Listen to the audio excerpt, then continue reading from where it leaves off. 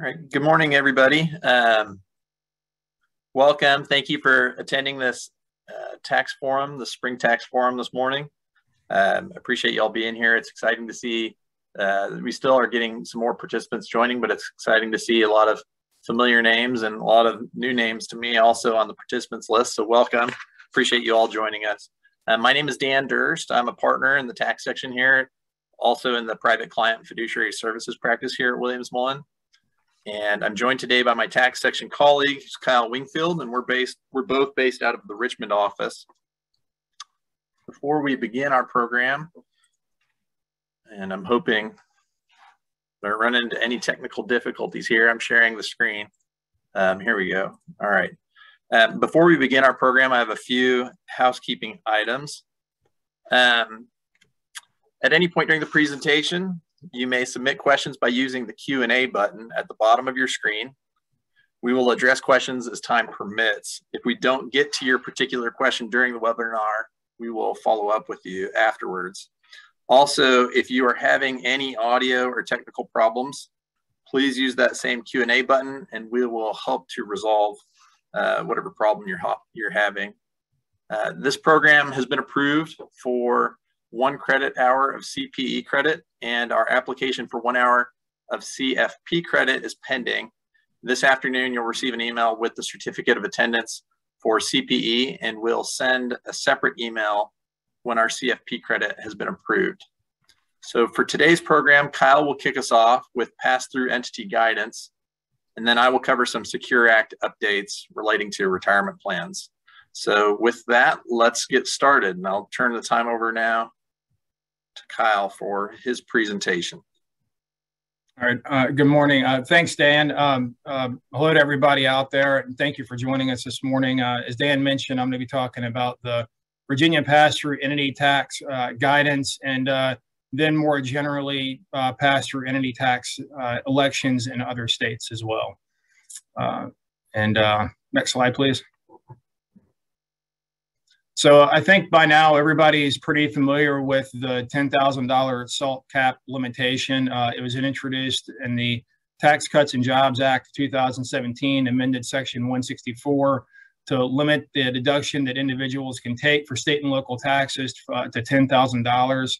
$5,000 for married individuals fi individuals filing separately beginning in tax year uh, tax years after December 31, 2017 and before January 1, 2026. Uh, obviously, you know, many many states, many taxpayers were unhappy about this, so states began passing workarounds. One of the first ones that I'll mention was uh, legislation by some some states allowing taxpayers to pay their tax liability to a charitable fund in exchange for tax credits. Taxpayers could then uh, claim a charitable tax deduction on their federal return and bypass the $10,000 limitation. Um, that was shot down in June of 2019 when the IRS and Treasury issued final regulations.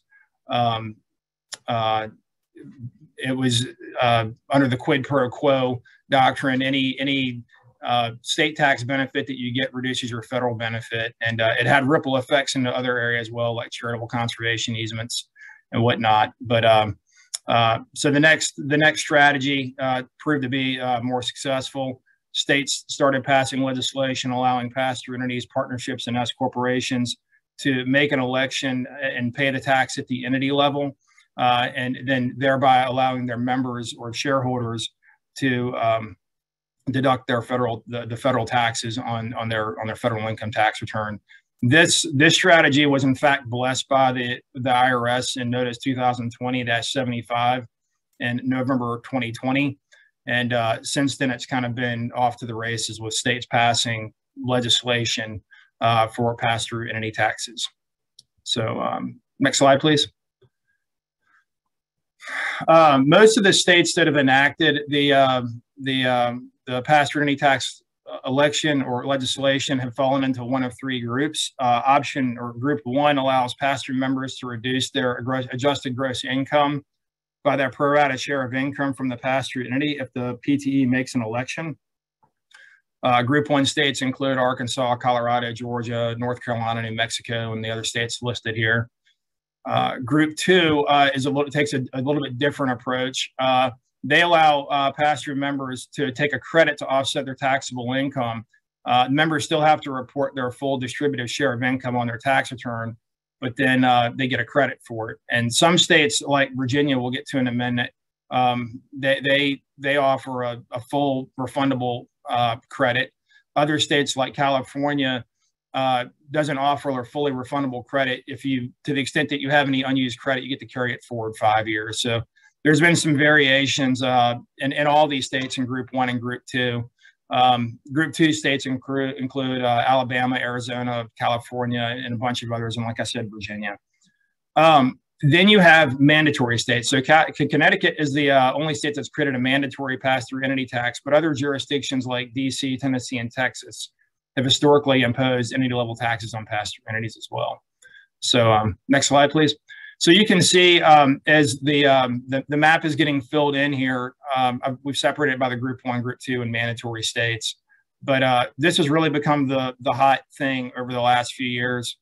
Um, last time I checked, there were 27 states that had um, enacted some sort of pass-through entity tax election um, or regime. Uh, it felt like this spring, every week, I was seeing another state get filled in on this map. Uh, that might have cooled off a little bit now that that legislature seemed to be adjourning for you know the you know the for the for the um, the, the season, but um, we expect that this will continue to be a growing trend. Um, you know, um, you know, in the next, you know, over the next, you know, you know, year or two, we'll, we'll see more and more of these states uh, enact pass-through entity uh, workarounds. So next slide, please.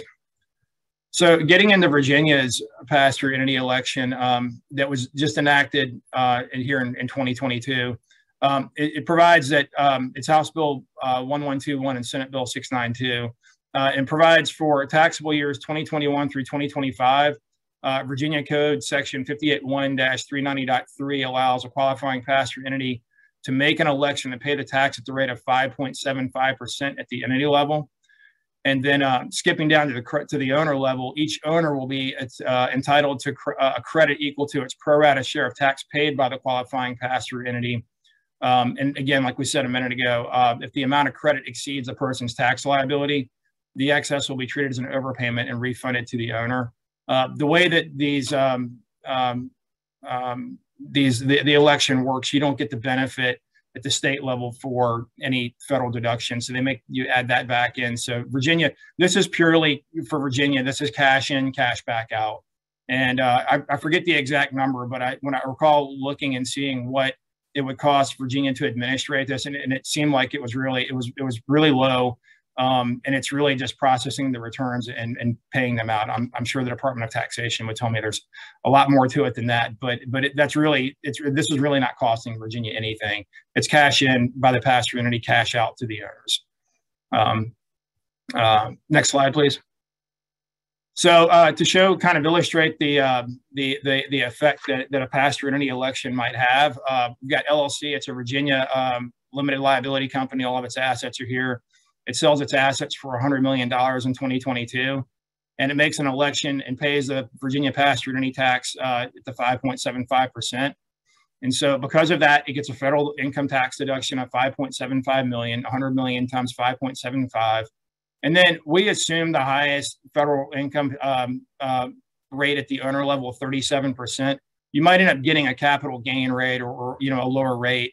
Um, but you know you, we just don't know because you might have recapture and whatnot. So we assume the highest rate, and and and uh, and calculate that the owners may collectively save roughly 2.1 million dollars. That's the 5.75 million times the 37 percent rate in federal income taxes due to the uh, making the the pass through entity election. So there's some real numbers here um, and, and some real uh, potential savings for for folks. Uh, next slide, please. So a qualifying pass-through entity is one that's owned 100% by uh, natural persons, or in the case of a subchapter S corporation, it's owned by people that are eligible to be an owner of an S corporation. Um, the legislation makes no provision for ownership by other PTEs. I've followed up with the Department of Tax, and they say, you know, the the statute is what it says. So, you know, right now there's there's no opportunity for um, uh, tiered uh, LLCs, you know, uh, an LLC owning another LLC or ownership by grantor trust even. Um, now, if you have uh, structures here, like I've got a like an LLC that owns another LLC, well, the lower LLC wouldn't be able to make the election uh, because of this rule. But presumably, if the upper tier LLC is owned by folks that are qualifying owners, you know, individuals or S corporation shareholders, then um, that would work. And it's the same thing for an S corporation that owns an LLC. The LLC wouldn't be able to do it, but, but perhaps the S corporation could. And it's interesting. Uh, um, in looking at other states, I was recently looking at California. They they had a similar rule um, up until I believe it was this year, where uh, uh, you couldn't have tiered LLCs. Now they allow it, but the um, so the lower tier LLC can make the election, but the the upper tier LLC basically doesn't get to participate in you know the credit or really any benefit. So you know it kind of offsets the benefit of, of, making the election. The other thing that I noticed that was interesting about California's um, um, pass-through entity election too, and I just use this as an example for you know the different flavors you might get in other states, is that um, all of the members of the, the California pass-through entity do not have to make um, to agree to the election. So not everybody has to participate in it, um, uh, which might be the case where if you've got somebody in a state that that doesn't get a credit for pass-through entity taxes paid in California, that person may not want to participate. Um, the interesting thing in the context of an S corporation is that if you you make it for some people and then you don't for others, or you try to even it up by distributing cash out to the other S corporation uh, uh, folks, or member or shareholders who weren't, you know, participating, you, you, might end up blowing your S election because you have a second class of stock. So, um, you know, it's again, these are just kind of like things that you have to think about when you're when you're working through this. And Virginia really has not provided us a whole lot of detail yet on the nuts and bolts about how this election is going to work. And that I think will get us into the next slide.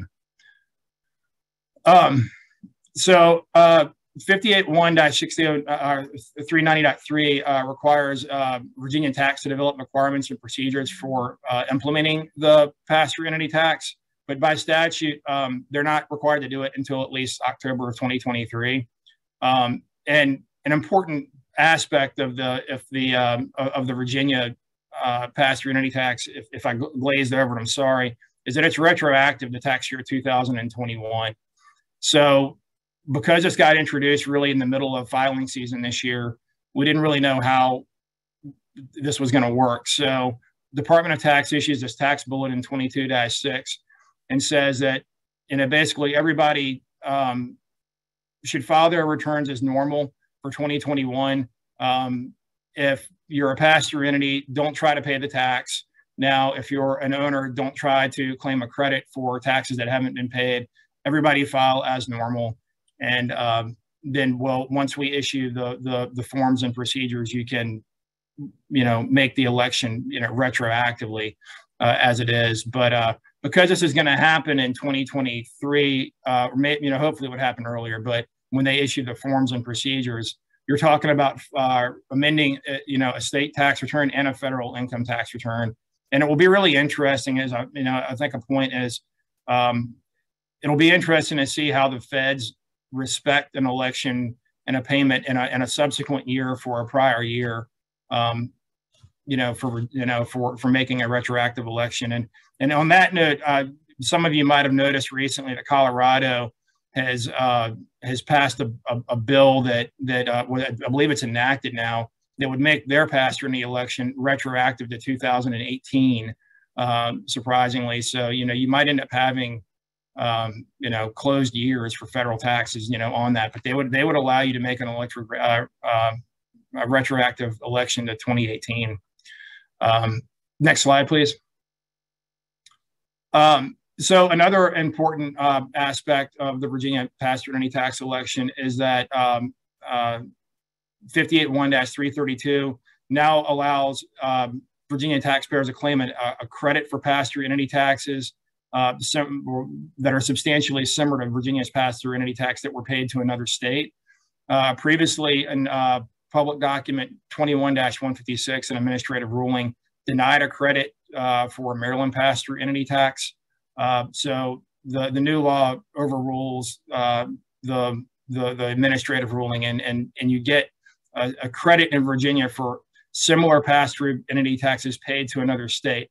Uh, that does not include franchise, business, uh, privilege license, you know, occupation taxes. So, um, you know, in some states that have those, like you know, a franchise tax, that would have to be, uh, you'd have to look into that.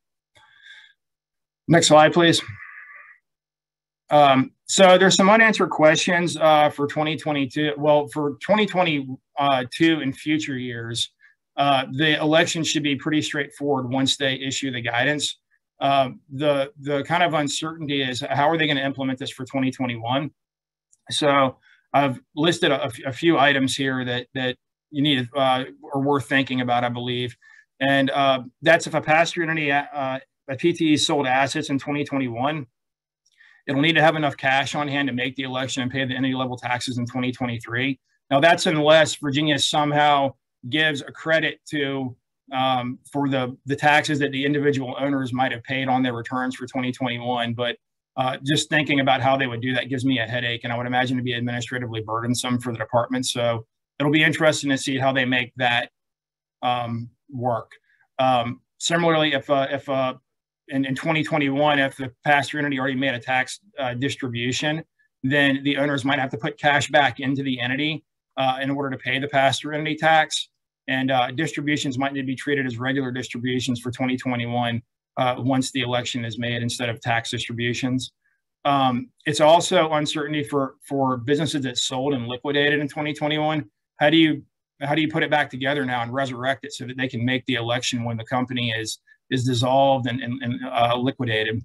Um, and then there's another issue that, that um, I think will be interesting too, is that, you know, if it's for 2021, the department is saying you got to file your return and pay your taxes as normal, then the owners have, have paid their taxes or, or will pay them by, you know, this in October on the pass-through entity. Um, but then if the entity itself has to has to make the election and pay the tax, you could have the situation where both the individual owners and the and the entity have paid the tax.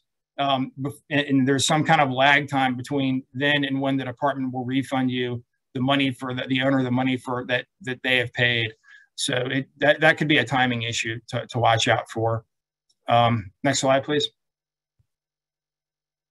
Um, and so other observations that, that we've seen are allocation and apportionment issues uh, with uh, operations in multiple states. Those need to be studied based on the pass-through entity election uh, uh, regimes in, in, in, the other states. And um, I would suggest that anytime you have a, a pass-through entity uh, that's, that's, that's being sold or any kind of M&A work on it, uh, that, that all this stuff needs to be studied very carefully because these laws are uh, even even the, the, the the ones that that have had pass-through elections on the books now for a couple of years, like California, they just recently changed theirs, you know, allowing a tiered LLC essentially make it. Um, then the other thing to watch out for is that many uh, members may or shareholders may live in states that do not give a credit for pass-through entity taxes paid to another state. So um, that needs to be studied carefully too when a um, tax matter, when a, when a pass-through entity of tax matters uh, partner or uh, manager is deciding whether to make the election, they have to consider that not everybody, you know, if they have non-resident members, are, is going to be able to get this pass-through entity tax, or potentially not everybody will be able to get it. Um, so that's one thing to consider. But then on the other hand, you know, you know, a, a counter argument to that is that you're reducing federal, you know, taxable income, and that might, you know, partially offset uh, the the the you know the the, the non-resident having to pay tax in his state on or her state on on the income. So um, that's something to consider as well. Uh, at least in Virginia, pass-through entities have typically filed uh, composite returns for their non-resident members so that they don't have to, the individual owners don't have to file Virginia income tax returns. Um, and, uh, but now with this election and this credit, uh, it'll drag more people into filing in Virginia. Um, they'll have to file now in order to claim the credit. And, uh, you know, since they're filing in, in Virginia, it could you know they're, they're, reporting their income it could open them up to additional audit exposure too but uh, i would imagine the, the benefit um, like we saw in the example might outweigh um, you know potential risk in that regard uh, next slide please so uh, some you know considerations uh, have to plug the accountants and lawyers here anytime you're doing a pass-through entity uh, you might want to you, you recommend you talking to your to your uh, uh, accountant or your lawyer. Uh, as we were mentioning a minute ago. Again, hold cash and reserves to make the election, at least in Virginia, and pay tax in 20 for 2021. Um, again, tax matters man- manager or partner should consider the impact of making the election on any non uh, Virginia resident owner. And uh, importantly, things you can do now are uh, review your operating agreement, your shareholder agreements, make sure the tax language uh, distribution um, distribution language uh, is is is good, so that any pass-through entity election taxes paid towards that are treated as a, as a distribution.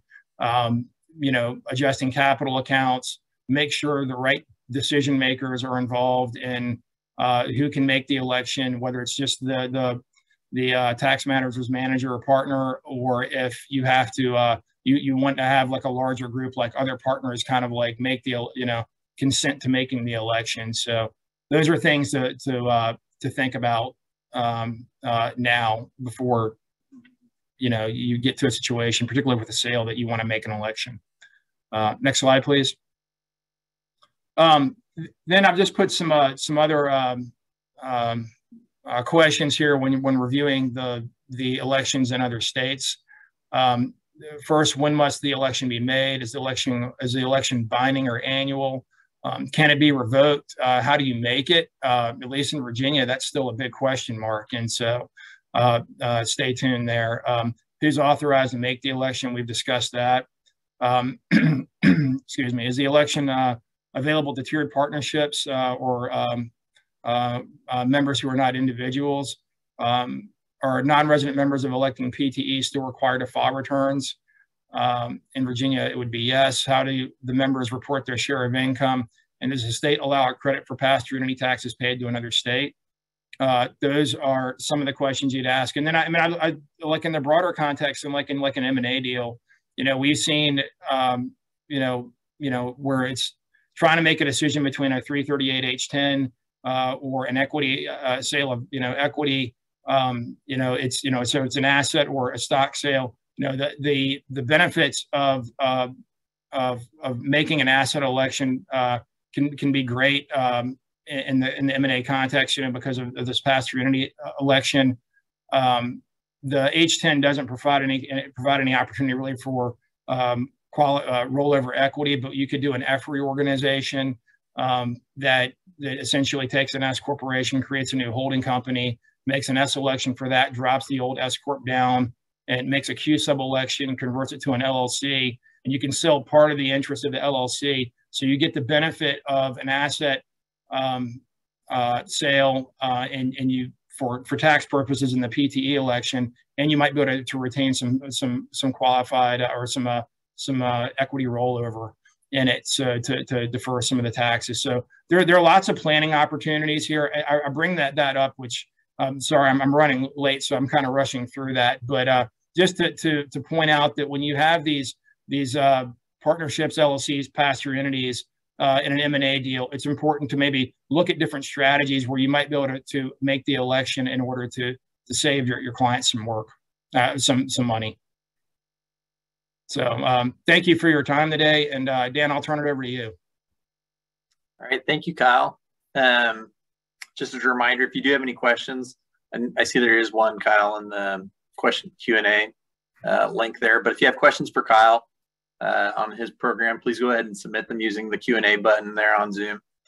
Um, and we'll try to get to all the questions we can at the end of the program. Uh, if we don't have time, again, as a reminder, we'll follow up after the program. So we're going to switch gears now. Um, I'm going to talk about the Secure Act and give some updates about it.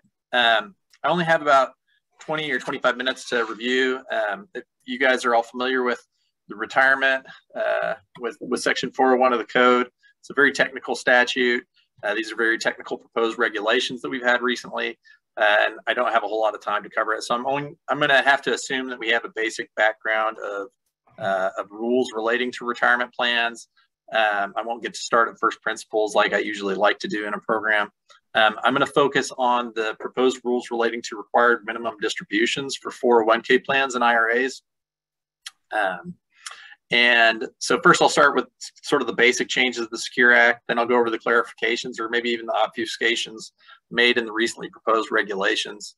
And then if time permits, I'll discuss briefly the new Secure Act 2.0 bill that's working its way through Congress. Uh, and hopefully my goal is that, you know, 20 or 25 minutes from now, you'll all know kind of the most critical or commonly occurring issues covered by the proposed regulations. So technically also, I'm gonna limit my comments today or the discussion to um, 401k plans and IRAs. So when I refer to retirement plans in this presentation, please just keep that in mind. Uh, uh, pensions might have slightly different uh, rules under the code and under these regs. Um, so just we're talking about 401k, 401k plans and IRAs. Since I've got limited time, I wanted to focus on the most common situations. So as a reminder, the Secure Act was made law on December 20th of 2019, and its rules apply to retirement plan accounts with owners who die on or after January 1st, 2020, and retirement plan accounts with owners who died before January 1st, 2020, but with an original designated beneficiary who then dies on or after January 1st of 2020. Um, the required beginning date or RBD is the is the abbreviation that you'll hear here and elsewhere. That's the date when the owner of the retirement plan account must begin taking required minimum distributions or RMDs. So RBD required beginning date and RMD required minimum distribution. The Secure Act increased the age at which RMDs generally must be, begin from 70 and a half to 72. So if you're born on or after July 1st of 1949, you get to wait up to two years longer before beginning to take RMDs. So that means that younger account owners get to defer paying income taxes just a little bit longer. If a retirement plan account owner dies and is, has designated an individual beneficiary, the Secure Act um, has, in many, if not most instances, instances, limited the period of time over which the account must be distributed to 10 years. Before the Secure Act, as you'll recall, most individual beneficiaries could draw down an account over the length of their act, their entire actuarial life expectancy. So now most beneficiaries have to finish taking out all the retirement plan assets and generally paying income tax on those assets within about 10 years of the death of the original retirement plan account owner or the original designated beneficiary. The change to the um, required beginning date and the 10 year limit on a beneficiary's payout of an entire of an inherited retirement plan account were arguably the two biggest or most impactful changes of the Secure Act. Then the Secure Act created five categories of beneficiaries that can still use their actuarial life expectancy to calculate their required minimum distributions. Uh, those categories are the surviving spouse, children under the age of majority, disabled individuals, chronically ill individuals, and individuals who are not more than 10 years younger than the account owner. So just to be clear, a spouse named as the outright beneficiary can still do a spousal rollover into their own account. So these uh, five the groups of individuals uh, are called eligible designated beneficiaries. So sometimes you see people call these people EDBs. Um, the Secure Act didn't change the rules relating to who can qualify as a designated beneficiary or just a DB, so an ineligible designated beneficiary, somebody not on this list but who is still a, an identifiable individual. Basically, only identifiable individuals and see-through trusts can be designated beneficiaries, uh, but they're not necessarily eligible designated beneficiaries. And the Secure Act didn't change the distribution requirements when a beneficiary is not a designated, designated beneficiary, like an estate or charity. So that um, concludes the, the, the refresher portion of my presentation about the Secure Act generally. Now let's talk about the proposed regulations.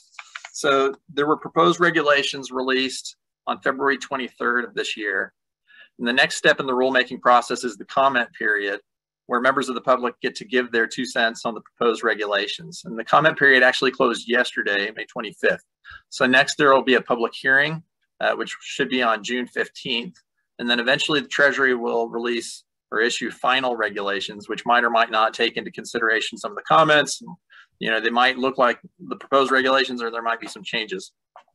So first, um, I'm going to cover what I consider to be the most critical part uh, or parts of the regulations, and then my favorite part of the proposed regulations personally. So perhaps the biggest surprise um, of the proposed regulations is what they say about distributions that must be made within a 10-year period after the account owner's death. Most people believed that the new 10-year rule would be similar to the long-standing five-year rule. So the five-year rule for certain situations requires all of the funds to be distributed within a five-year period, but without requiring any particular distributions before the end of year five. So you could defer all of your distributions until the very end of year five, if that's what you chose. The proposed regulations clarify that that's not the rule with respect to the 10-year period for certain and very common situations under the Secure Act. So um, just to be really clear about this, this is a situation where if the owner dies after their RBD, so after they are 70 and a half or 72, whatever their RBD is, or um, in certain certain instances, the RBD can even be uh, deferred on 401ks if the person hasn't retired yet. But if the owner dies after their RBD, the proposed regulations require minimum distributions based on the life expectancy of their designated beneficiary in each year during the 10 year period. Uh, but everything must then be distributed by the end of the 10th year. So that's probably the biggest news of the proposed regulations and will affect the most beneficiaries. So I've got that at the top of the list. That's the, uh, I think, uh, the big thing that needs to be taken away from uh, the proposed regulations. Um, they, they don't require that. The, the regulations don't appear to require that for somebody who has died before their RBD uh, and has a designated beneficiary. There's still the 10 year requirement, but they read as though uh, the the distributions can be deferred until the end of the 10 year period. And it gets to what the statute says. The statute basically says in the instance of somebody who dies after their RBD, that the account has to be distributed uh, over a period that's no longer than the period that applied to the owner, which would have been their uh, life expectancy. Um, there was a hint that this could be the final rule, an initial draft of IRS publication 590B that was issued in March of last year. Um, IRS publication 590B is about uh, retirement accounts and how to take distributions. Uh, and it's written in a very uh, taxpayer friendly, at least as far as uh, IRS publications go. Uh, it's written in a friendly way. So I, I would refer you to that uh, also for for further guidance on how to make these distributions. But the IRS then issued, after they issued the one in March of last year, they issued a corrected one in May of last year, and they changed an example. they expressly provided that no distributions needed to be taken in years one through nine. Um, so now we have this proposed regulation which says something different in instances where somebody has died after their RBD. Um, so I'm sure, and I've seen some of the comments, some people I'm sure are going to give comments that uh, the 10 year rule ought to allow deferral until the 10th year. I've actually seen uh, comments from the public that say that we should be requiring distributions every year during the 10 years so that nobody gets caught with a huge distribution and a huge tax in year 10, which, you know, some people might think is paternalistic, but um, anyhow, you see comments about this on both sides. So we'll see what they decide in the final regulations on that point. My personal favorite part of the proposed regulations, it's a clarification on the rules of how to identify the people who count as, uh, as designated beneficiaries when the designated beneficiary is a trust. So the proposed regulations identify two kinds of trusts that can qualify as see-through trusts, where you can see through the trust to identify the designated beneficiary. The two kinds of trusts are what are called conduit trusts and accumulation trusts. And those two terms have been making their way around the estate planning community for at least 20 years. But I believe that this is the first time that conduit trust and accumulation trust, those terms have been written into the official, into the rules as official terms. Um, so a conduit trust is basically a trust that requires all distributions. I'm sorry, I'm managing the slides in here too. So I need, I've got the cymbal between my legs and the bass drum on my back, kind of trying to do it all. But um, so I apologize if I don't keep up on the slides and get carried away. But a conduit trust is, um, is basically a trust that requires all distributions from the retirement plan to be distributed immediately to a beneficiary or beneficiaries. So that means that all RMDs and any discretionary withdrawals get distributed immediately to the beneficiary. An accumulation trust is any other trust that can qualify as a see-through trust. And basically that means a trust that isn't required to distribute all of its RMDs and any discretionary withdrawals immediately. So for example, a typical marital trust, a QTIP trust, it might be an accumulation trust if it, um, you know, you have a mandatory income distribution, but if it allows a discretionary distribution of principal, uh, without uh, require without a separate provision, which a lot of trusts have, to require distribution of all retirement plan assets uh, outright. So the proposed regulations confirm that for conduit trusts, it's only necessary to look at the conduit beneficiary to determine whether that beneficiary is a designated beneficiary. Not the non-contingent beneficiaries who survive the account owner, they've got a definition in the regs. They're called tier one beneficiaries. So like the conduit beneficiary is what you call the tier one beneficiary. And then the proposed regulations define another class, tier two beneficiaries. Those are the people who take at the death of tier one beneficiaries. Um, the proposed regulations provide that for accumulation trusts, you get to ignore any beneficiary whose interest is conditioned on the death of a tier two beneficiary. So just to boil all this down, what does this mean? Why is it my favorite part? So generally speaking, the takers in default in a trust and other remote beneficiaries, they don't have to be considered anymore. And that's a relief. So because for example, you might have a charity named as a remote beneficiary in a trust agreement. Um, and it used to be a, a, big concern that having a charity named in the back of a trust um, could could basically cause your trust not to qualify as a see-through trust and be a designated beneficiary. And that would suck you into that old five-year RMD rule. It's actually still the five-year RMD rule if you don't have a designated beneficiary. so if that isn't great enough that we get to ignore kind of those remote beneficiaries for purposes of deciding whether or not we uh, have a designated beneficiary, the proposed regulations, they go on to provide that the permissible appointees under an unexercised power of appointment, they don't count either when you're identifying the designated beneficiaries. So if you give a beneficiary a power of appointment that can be exercised in favor of a charity or a spouse, um, the charity or the spouse, they don't drag you into this five-year rule either, which used to be a concern because remember to have a designated beneficiary, it has to be an identifiable class of individuals and a spouse is just a generic person who might be older, might be younger. um, but that was always a concern that if you gave somebody a power of appointment that could be exercised in favor of somebody who wasn't identifiable, that now you don't have identifiable individuals and you didn't have a designated beneficiary. And so you had this five-year rule apply. Um, if the power of appointment isn't exercised before the beneficiary determination date, that's another defined term. It means September 30th of the year following the death of the account owner. If you if the power isn't exercised in favor of one of these ineligible people, um, then you get to ignore the power of appointment and you just look through to the takers in default uh, as if that power wasn't going to be exercised.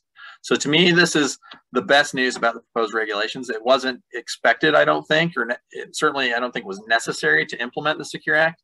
Um, powers of appointment are extremely common. The typical trust for a child grants a power of appointment that can be exercised in favor of some non-identifiable person like a spouse or to charity. Um, and before these regulations, we would often default to using conduit trusts, or we would include somewhat elaborate or restrictive carve-outs for accumulation trusts so that uh, powers of appointment would result or wouldn't result in requiring a five-year payout. So now we should be able to use accumulation trusts much more comfortably without upending our typical trust terms to accommodate uh, the RMD rules. So I give the Treasury uh, five stars for including those provisions in the proposed regulations, and I appreciate them making my life a little easier uh, with that. Now, um, as an aside, you know, I the unfortunate thing about doing this in a webinar format, not getting, getting to pull people and ask you all questions as well, I kind of wonder if, if my options are basically getting a 10 year payout versus a five year payout, how much incentive is there anyways in order to get 10 year payout instead? Does it make that much of a difference to people? I'd be curious to hear what other people think about that, how, how willing they are to bend over backwards um, to try to get a 10 year distribution period instead of a five year period. Um, so that's what I consider to be the most important point, the fact that RMDs uh, have to be taken during years one through nine and also 10 during the 10 year uh, drawdown period for, for a lot of people. And then my favorite point, the fact that we get to ignore a lot of those remote beneficiaries and powers of appointment for uh, evaluating accumulation trusts as designated beneficiaries. The proposed regulations clarify several additional questions created uh, and, and that were left open by the Secure Act. So first, the regulations affirm that if the account owner dies or died before the effective date of the Secure Act and had one designated beneficiary, after that designated beneficiary's death, the 10-year rule is going to apply.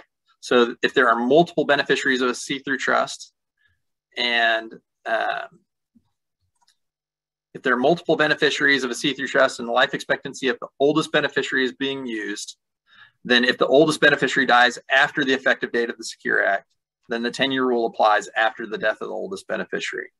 If the oldest beneficiary died before the effective date of the Secure Act, then the Secure Act rules don't apply uh, in that instance. The second point I've got, um, for purposes of applying the statutory effective date, if the account owner died before the effective date and the spouse is the beneficiary, then the spouse is treated as the account owner. And then if the spouse dies after January 1st of 2020, but the designated beneficiary died after the effective date, then the Secure Act rules uh, would apply to the beneficiary of the spouse's designated beneficiary. So basically, you know, um, the way the regulations work is they're putting the designated beneficiary of somebody who died before the act, or they're putting the, the designated beneficiary of a spouse who uh, inherited before the effective date of the Secure Act. They're putting that person in sort of as the in the role of an eligible designated beneficiary who's still getting to take over their life expectancy, but at whose death the 10-year rule applies now to the next beneficiary in line.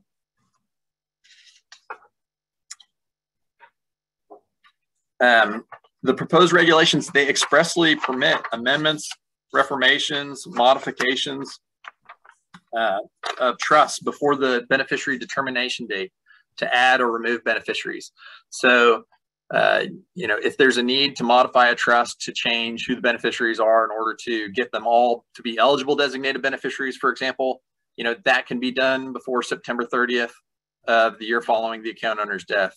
Um, and the, the regulations expressly provide for that, which is a handy change. Um, the, let's see. The proposed regulations, they provide for disregarding a beneficiary of a see-through trust when entitlement is conditioned upon the death of an individual that has not reached the age of majority. If the terms of the trust provide for full distribution by the later of the end of the 10th year, the 10th calendar year following the account owner's death, or by the end of the 10th year in which the beneficiary attains 21, so 31. So basically, um, you know, you get to treat it as a see-through trust if it's going to terminate, if it's for um, for a minor, if it's going to terminate by the time that they turn 31. You get to ignore the other remote beneficiaries. The proposed regulations also provide for an exception of an accumulation trust to treat a minor child as an EDB as long as the trust distributes by the time the minor turns 31. The proposed regs use the example that if the trust has the spouse as the beneficiary and at the death of the spouse, the minor children are the beneficiaries, um, that also is an exception. If, uh, and if the trust for the minor child only holds the trust until the child attains the age of 31, then that trust will also be an EDB. The trust will qualify to pay out over the life expectancy of the spouse. So if you name the spouse first and the remainder beneficiaries are children and they're minor children, you uh, they, the minors are EDBs. The spouse is also an EDB. You get to use the spouse's life expectancy. Um, the definition of the age of majority has been defined in uh, the new regs. They've defined it as 21. The current rule says something to the effect of, you know, if they're 26 or under and pursuing a course of study, um, and the Treasury said that that was going to be um, that, that it was too difficult for plans to have to keep track of who's studying or who's not studying and, and what does that mean. And they came out in favor of just a simpler rule. Um, for plans that are already have the other rule in place, they can continue to use it, but um, but they have just said if you're 20 under 21, then you are a minor. Um, and during your the period of minority for a beneficiary, they get to use the minor's life expectancy when they turn 21 has to be distributed within 10 years of that.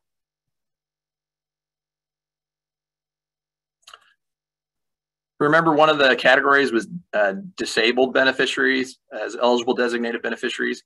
So they provided a definition of disability. It's based on whether the individual is uh, unable to engage in substantial gainful activity uh, there's another special definition given for people who are under the age of 18 um, because it can be hard to apply the rule about engaging in gainful activity for somebody who's a, a minor. Um, that applies a comparable standard It requires the beneficiary to have a medically determinable uh, physical or mental impairment that results in marked, marked or severe functional limitations that can be expected to result in death or to be long continued and indefinite in duration. Um, so the proposed regs clarified that the determination of disability has to be made as of the account owner's date of death. So if you have a minor child who is not disabled but is disabled before they become uh, an adult, so before they turn 21 under these rules, they actually don't count as being uh, disabled for purposes of becoming an eligible designated beneficiary. They have to be disabled, qualify as disabled at the time of the account owner's death. So that is one of the things sort of strange clarified by the regulations. Um, there is also um, some guidance about what it means to be chronically ill in, um, in the new regulation. It's similar to qualifying for as being chronically ill for a long-term care contract. Um, you have to be unable to perform two activities of basic daily living, eating, toileting, transferring, bathing, dressing, or uh, being continent. Um, and it has to be indefinite or reasonably expected to be lengthy. It can't be uh, just for a short period of time, and it has to be certified as well. So they've given clarification on how to determine um, if somebody is disabled and also chronically ill. They've provided guidance uh, for multi-beneficiary trusts. So there's a type of trust that they call a type one applicable multi-beneficiary trust. And the terms provide that the trust is to be divided immediately upon the death of the account owner into separate trusts for each beneficiary. And then there's um, a type two multi-beneficiary trust. Um, and basically it provides that there no individual other than a disabled or chronically ill designated beneficiary has any right to the uh, to the account until the death of all of them. Um, and basically the regs provide that as long as you've got, um, you, you can't have a trust that separates immediately a type one trust, but then also for uh, the type two trust that you get to ignore all the remainder beneficiaries um, for purposes of deciding if the trust is a see-through trust that gets to use the life expectancy of the eligible designated beneficiaries. As long as all of the beneficiaries are eligible designated beneficiaries, nobody else can be a taker um, until all of them have died. Uh, one issue to look out for here is that occasionally you do see special needs trusts that um, that basically give the trustee the power to terminate the trust early if, for example, um, the trust isn't satisfying its purpose of of excluding the beneficiary's assets um, from the reach of creditors. They might go ahead and just terminate the trust early. Um, that kind of trust wouldn't qualify here for the life expectancy distribution payout uh, because it could potentially terminate before the death of all of the uh, disabled or chronically ill beneficiaries. Um, something that came up for me recently, in which folks are going to complain about, I think, is part of the comments on these proposed regulations, is the RMD period for beneficiaries after the owner reached their RBD. So if the owner named the designated beneficiary, then the designated beneficiary is going to be subject to that 10 year rule. And they're going to have to take the distributions if the proposed regs end up being the final regs in years one through nine and then also in 10. But if the owner didn't name a designated beneficiary, so if it's just blank or if they've named their estate, then the RMD period is the owner's remaining actuarial um, life expectancy. This is if they've died after their RBD. So for somebody who's 72 years old, I think that number is something like 17 years. So naming the estate as the beneficiary could actually, actually in some instances, allow for a longer RMD period. So we'll see if that issue remains in the final regulations or if they try to fix that or clean it up. Um, I'm going to just hurry up and go through some of the Secure Act 2.0. I think we've got about five minutes more that we can spend uh, before we turn to some of the questions here. Actually, let me check the questions.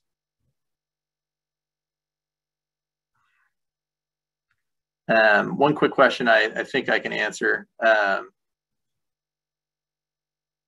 you know, what, what do you do if you've amended a trust to comply with the Secure Act and then these regs are passed, do we have to amend it again?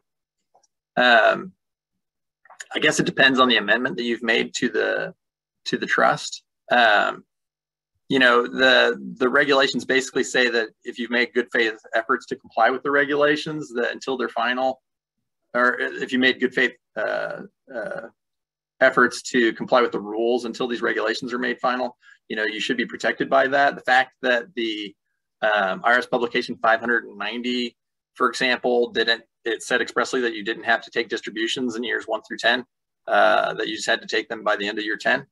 Um, I would hope that that would be something that somebody could rely on for this year and last year.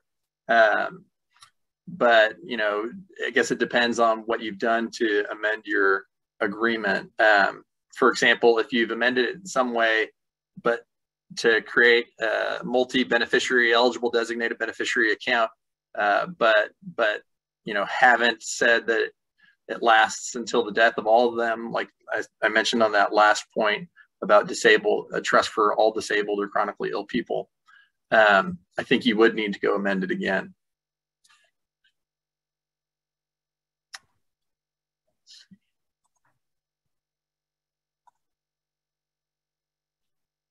Um, so let me go ahead and cover some of the Secure Act 2.0 information. So Secure Act 2.0 on March 29th, the House voted uh, 514 to 5 to pass this uh, bill. It's currently in the Senate. I think the Senate will hear it later in the year. Um, I haven't heard anything recently about uh, the Senate taking any action on it. Um, so let's see. First, you have mandatory automatic enrollment um, under the new Secure Act 2.0. Um, the default rates between 3% and 10%. Um, there's an automatic escalation of 1% per year up to 10%, but no more than 15%. Employees can affirmatively elect a different contribution, um, and certain plans are going to be accepted. The Senate version doesn't have this automatic enrollment feature in it yet. Um, they're looking at increasing the RBD so right now, the Secure Act, like I said, has an age of 72. The House has proposed increasing it um, kind of gradually over time, 73 this year, 74 and 2029, 75 and 2032. The Senate version just has 75 and 2032. Um, there are inflation adjustments for the IRA catch-up. Currently, there's no inflation adjustment for uh, the $1,000 catch-up contributions to IRA, IRA account owners uh, who are 50 and above. But the House Act adjusts the IRA catch up for inflation starting in 2023.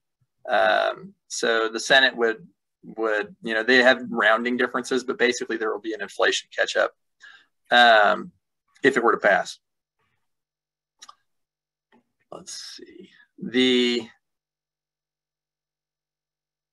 part-time owners or part excuse me part-time employees the eligibility to participate in a 401k, it would be reduced um, from three years to two years. There would be a lost and found database, which is really interesting, created. You know, so for people who have little retirement accounts out there where they used to work, 401k account that didn't get rolled over when they left their job, there will be a lost and found database for people to be able to find um, find accounts that they haven't kept up with. There is a one-time qualified charitable distribution to a split interest entity that would be allowed. It would be a one-time election of up to $50,000 indexed for inflation for a qualified charitable distribution to a split interest entity, such as a charitable remainder annuity trust or annuity trust or charitable gift annuity. Um, there would be employer Roth contributions allowed. So that, that's in the House Act. They would allow employers to match uh, and have those matching contributions be treated as Roth. I'd presume that the, employee, of course, would be taxed on that as income. Um, so it wouldn't be tax free for the, the employee, I don't think. Um, there would be no RMDs required for accounts under $100,000. So anybody who has an account with less than $100,000 wouldn't have to take RMDs at all. And the, that's in the Senate Act and um, the Senate would extend uh, qualified charitable distributions to include distributions from uh, self-employed uh, plans, so SEPs, simple IRAs, 401(b)s, and 457B plans as well. So uh, Secure Act 2.0, a lot of uh, taxpayer-friendly options there. It looks like, uh, at least in the drafts that have been circulated, um, and also for folks who are um, middle, more lower middle class, middle class folks. Um, the Secure Act, uh, to me, is a little bit comical. Uh, the name of it, the Secure Act, um, because it does, you know, not getting the life expectancy stretch anymore does uh, seem to me to not be a terribly middle class uh, friendly tax policy. Um, but I just get to read the rules and interpret them. I don't get to make them. So um, that concludes my part of this presentation. I'm going to look at the questions really quick and see uh, if there are any more that we can answer here live. And if we can't answer one, again, we'll follow up with you. So hold on just a moment while I review these questions. And um, Kyle, did you have any questions on there that were asked that you wanted to answer? Or did you get to them already? I've gotten to most of them. Uh, there's one that's uh, relating to the um, um, investment uh, portfolio income that uh, need to look into, and we'll, we'll get back to you, Alex.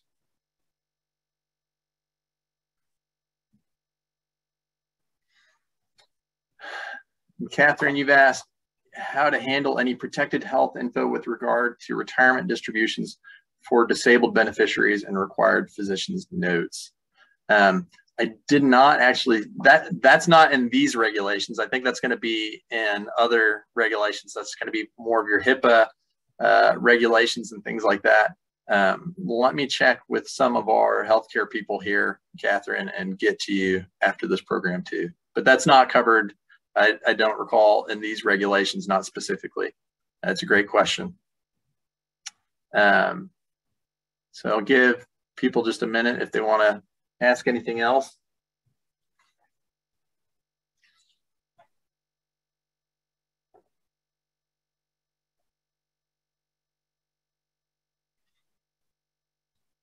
So not seeing any more questions, Kyle. Um, it looks like that's all of our questions uh, for today. Um, so as previously noted, please look for an email uh, from Williams Mullen this afternoon with a link to the presentation slides as well as the attendance certificate for CPA or CPE, excuse me. And thanks again for joining us today and everybody take care. Have a great day. Thanks.